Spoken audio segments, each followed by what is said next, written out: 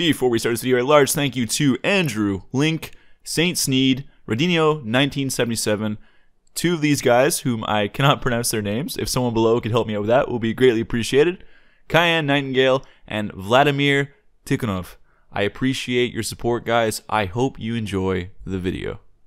Hello, guys, and today we're going to keep working with our equipment system, and we're going to make the torso equipment. And we're also going to make a list of default equipment items. So let's say you don't equip a helmet or a torso, you're going to be like naked. So we're going to handle that as well in this episode. So if we hit play, as you can see, I've equipped the Fallen Knights helmet, and that was not the helmet I had on the startup. I don't know if you noticed that. You can see the difference there now.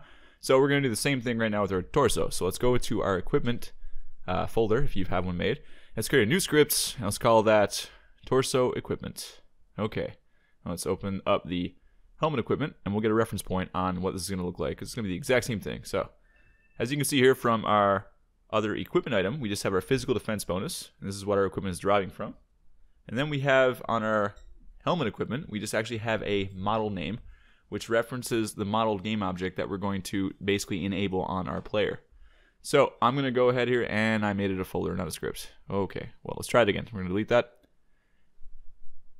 And there we go. So let's copy the create asset menu name and let's paste it on our torso equipment, which is now a script and not a folder. And I'm just going to start by putting in my namespace, which is SG. And then it will stop complaining and will allow me to make an asset menu. And I'm going to make the torso equipment derived from equipment item, obviously. And we'll be good to go. We just need to erase the start and update functionality. So this is going to behave the exact same way as the helmet equipment for now until we start adding in other things. So let's just copy the string um, name. We're going to change it to torso model name. And that is it for now.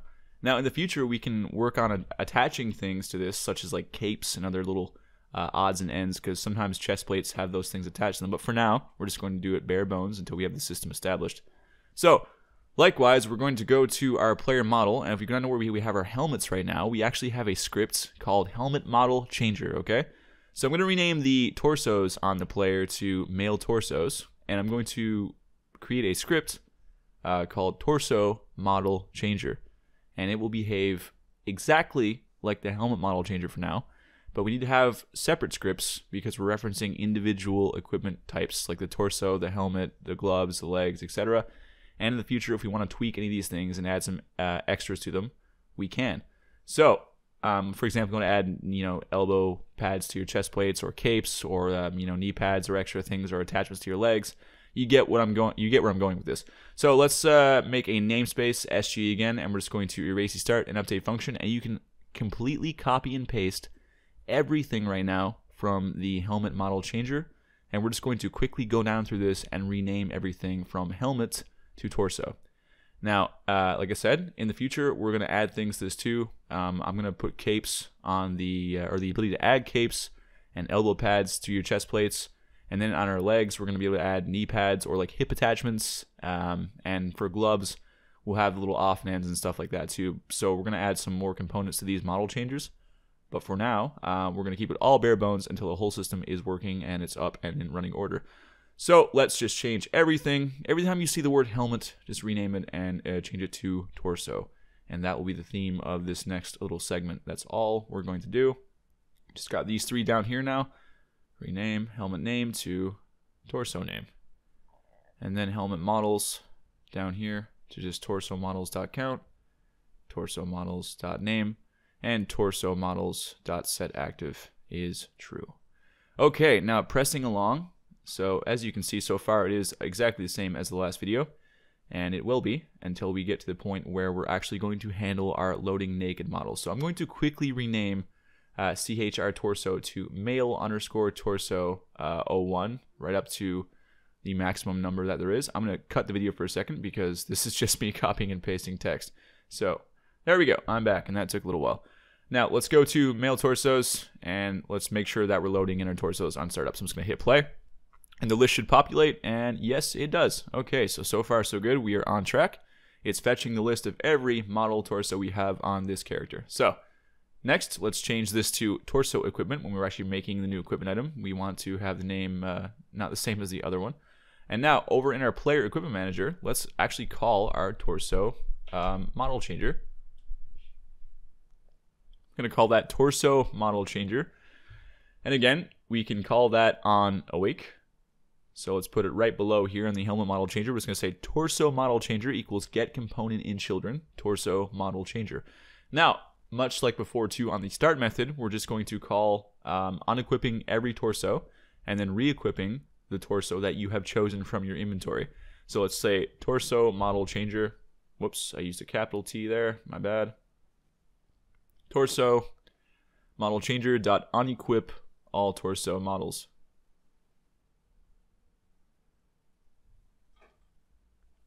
You know what? I'm just going to make a private function for this too. We're going to say private void. We're going to say equip all equipment models on startup or on start. And let's just call that on start. Let's keep this code nice and neat and organized. Paste that in there. I was going to say equipment or equip all models on start.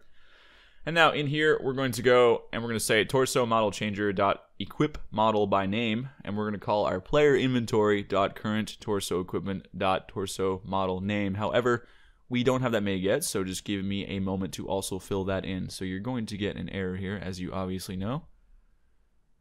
Excellent. Now let's open up our player inventory and let's copy this. Right click on here, player inventory, and we're going to say go to definition.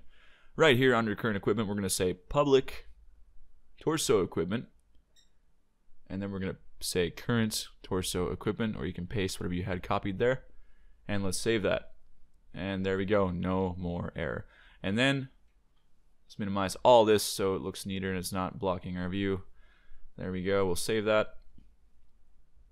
Now let's actually make the torso equipment. So under my equipment, I'm to right click, I'm to create items, equipment, torso equipment. And I'm just going to call this, uh, let's just call it Knight's chest plate. And I, what number was that default one? I think it's like 16, I want to say. Let me check one moment. Just going to double click here. 21. Okay, so 21. So I'm just going to give this one the model name of 21 because that's the model it's going to load. But then the item name will be different. This will be the name displayed in the UI in the future.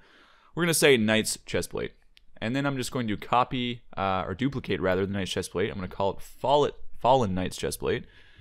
And I'm going to make this reference, we'll say number uh, 26, just so we can see a different chest plate load. Now, if I go into my player here and I click here and load the Knight's chest plate, as you can see, nothing will change because that's a chest that's already on. But now, if I stop the game and I load the Fallen Knight's chest plate, as you can see, Boom, there is a different chest plate. All right, cool. So now what happens if we take off both items? Well, I think right now we just get an error. But let's make it so if we do take off both items, we actually load the naked model of our character. So we're going to say if player inventory dot current helmet equipment does not equal null, well then we're going to say, okay, let's load the current helmet equipment model. Um, regardless, we're going to unequip all helmet models, so keep that outside of the if statement. Uh, and then we're going to say if player inventory dot current torso equipment does not equal null, well, let's go ahead and load the current torso equipment. Uh, otherwise, we're going to load our default mesh. So that will be just your, could be naked body, it could be another equipment piece. Maybe you have a default equipment piece like shorts or a shirt, whatever you want. So we're going to say else. Now, there's multiple ways to do this, like so many different ways. So I'm going to show you two. We're going to handle one differently for the head um, but first, I'll show you what it would look like if we didn't need to. So I'll, you'll get what I mean. Just one second. So we're actually going to reference this with a string, and it's very straightforward. So what we can do is we can actually go up to the top of the script. We can make a new header here, and let's call this. What's a really straightforward name? Default, default naked. Yeah, default naked models. So these will be the default models you load if you don't have any equipment on. We can say public string and we're going to say uh, naked head model equals actually i'm just going to keep it right there and we can write it ourselves. And we're going to say public string naked torso model. And then we can just say naked legs naked leg model and naked hand model for the next video which we don't have made yet. But we're going to do both of those um, simultaneously in the next video. Okay.